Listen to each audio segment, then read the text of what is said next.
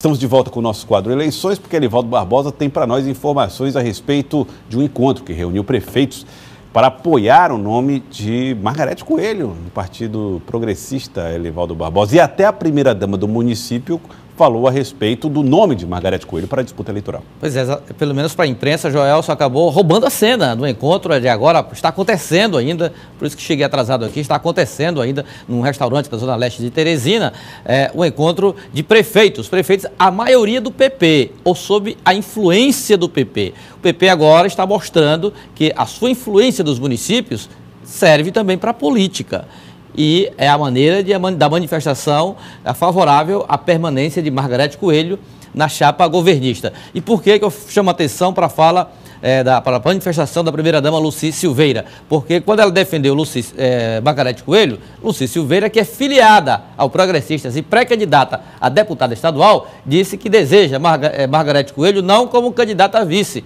mas ao governo do Estado, Joel. Ao governo? Olha, ela chegou lá tocando fogo no casarão. Vamos ver com o Elivaldo Barbosa.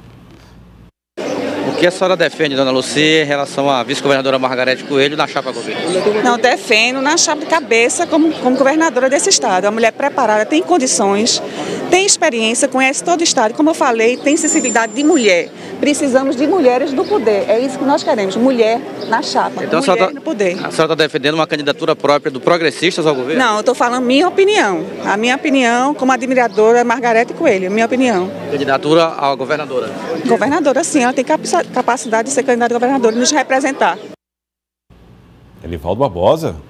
Ela, inclusive, fez referência ao marido, Firmino Filho, candidato, ou, aliás, prefeito da capital e do PSDB. Disse, não, Firmino é do PSDB, é, votará, apoiará Luciano Nunes. É a opinião dela, pessoal, que defende o Progressistas, lançando Margarete Coelho para candidata ao governo do Estado. Seja, e, obviamente, se for candidato ao governo do Estado, terá que ser obra para a oposição, né? Não tem romper como... com o governo. Claro, romper com o governo. Não tem dúvida, né?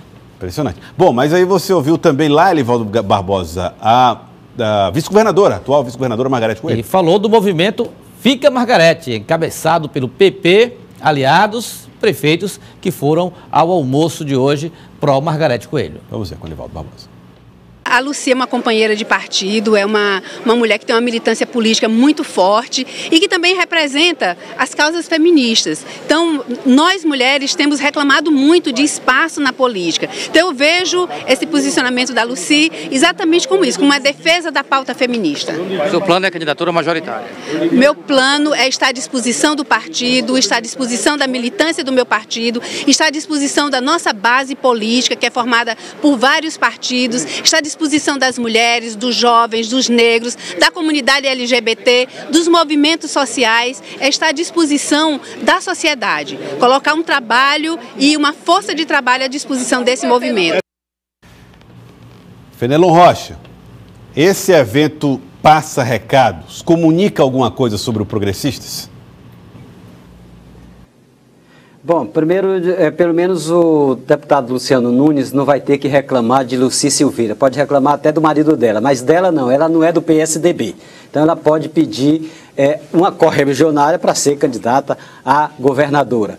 E no caso, eu e nós ainda agora, na Rádio Cidade Verde, entrevistávamos o deputado Júlio Arcoverde. E ele falava dessa hashtag que tem na camisa. Fica, Margarete.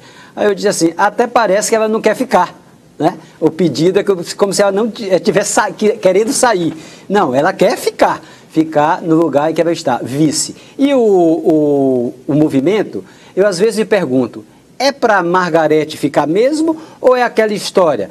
Cria uma dificuldade para colher facilidade. Qual é a facilidade que os partidos aliados do governo, e aí entra o progressista, entre o PSD, que tinha representante por lá, outros partidos que tinham representante por lá, qual é o, o grande desejo? É o chapão, é a chapa proporcional única. Esse sim que é a grande reivindicação. Porque não tem sentido você dizer, nós queremos a Margarete.